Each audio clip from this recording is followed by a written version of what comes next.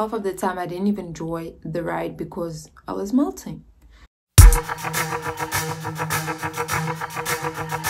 Hey guys and welcome back to my channel. Today I'm back with another video. It's basically a mini vlog and just me sharing my experience on when I went hot air ballooning because it costs a lot of money and there's a few things that like I wish I knew before I actually went there. But I'm just here to just share my experience and if you guys want to know a little bit more about um, hot air ballooning, please do continue watching the video. So I went to this great place called Drakensberg Ballooning. They even give you a certification after the hot air balloon ride. It was my birthday so they wrote me this cute letter guys. Isn't that sweet of them? So they wrote me this cute letter and it's like a family business. So like afterwards you get breakfast um, so you like chill with the family tell you about like the place and where it started and all that. So it was really nice. So i started getting there so this place is one and a half hours away from Pietermaritzburg so it's about two and a half hours away from um, durban. So it's quite a distance but there is accommodation there. So the accommodation guys so you either choose from a backpacker or like the lodges so obviously i chose the lodges because it wasn't that pricey. It was around i'm not even gonna guess i'm just gonna put the price here. So it wasn't like that bad. But can i tell you that when i got there guys like i was traumatized.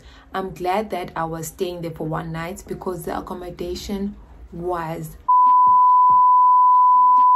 so i didn't even vlog that part because i was just like what the hell is this? Like why would you? And i'm glad because it was during like december. So i literally slept on top of the bed. Like i put i took my towel then like i just wrapped myself in like my clothes and my coats and stuff like that because the place was so shady guys. Yo even when i was showering like i showered obviously i always bring slops i showered with my slops on. I was just like i need to get out of the place. So I, am in the ghetto.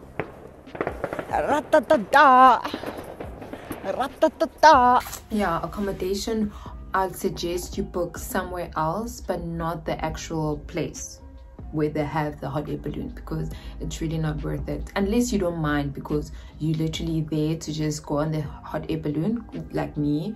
But if you're actually coming for a holiday and you want to chill around Drakensberg do not get that accommodation the second thing I want to talk about is how early you have to wake up. So as I said I went during December so the sun rises earlier because right now it's like june july so the sun rises at like seven like half past six vibes.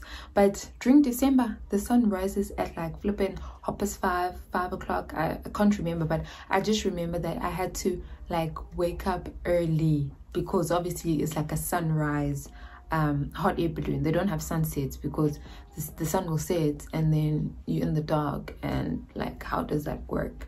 You see? So just choose the seasons you want to go in properly unless you don't mind waking up because i mind and it was painful. The third point i want to raise is the actual experience. So you i had two options. So you could either do like the game reserve view which was 3200 south african rands or you can do like the normal view ones which was 2500 so obviously i like took the normal one because who's gonna pay 3200 for like a hot air balloon ride? But with that actually i looking back i actually would have taken the game reserve one just because like you could probably like see animals from like the top and that would have been more interesting because guys if you know like the Drakensberg, there's not much views and there's not much mountains. Like I'd understand if it's like over Cape Town and stuff like that, but you literally just see fields and let me just like show you guys you know?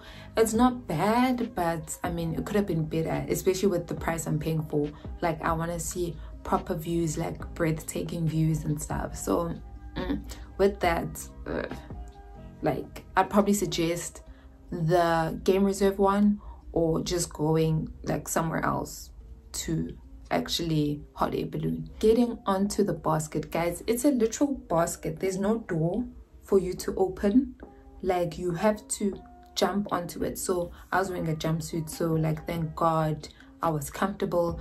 But you can't go there wearing dresses and cheap blazer and looking all like great because you are gonna struggle. Like you have to like climb onto that basket. So just take note of that.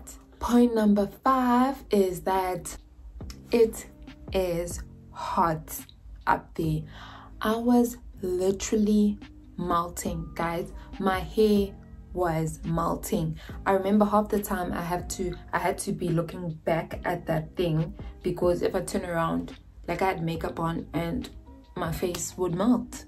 Like i was melting. So that thing is extremely hot so i suggest not going on a hot day. Maybe like a nice cold winter morning you know is the best because you are gonna die of heat. Like half of the time i didn't even enjoy the ride because i was melting.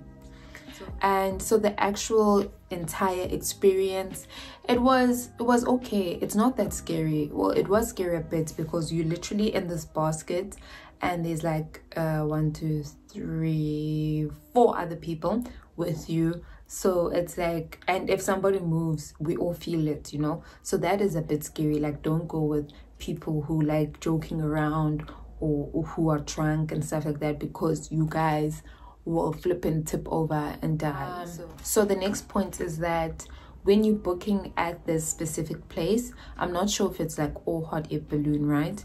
You have to book in like even numbers or in groups. So i went there with my sister and she couldn't go because it was a four basket. There was already three other people and they only had one more space. Then the next basket they had was eight people. So the guy was literally like only one of you guys can go or you come with four other people to make it eight you know? But i did book like two days before because i'm indecisive like that. So either book way in advance that you do get like the amount of people you want to go on the ride or like booking groups because it's going to be awkward then also after the trip like you guys land and then they pop open some champagne some mcc actually some sparkling wine actually because it was JC. And you guys just look at the views and the field and you chill out and stuff. So it's really for like couples. I think it is like a romantic thing you can take your partner on if you're just going there for a good time, not a long time.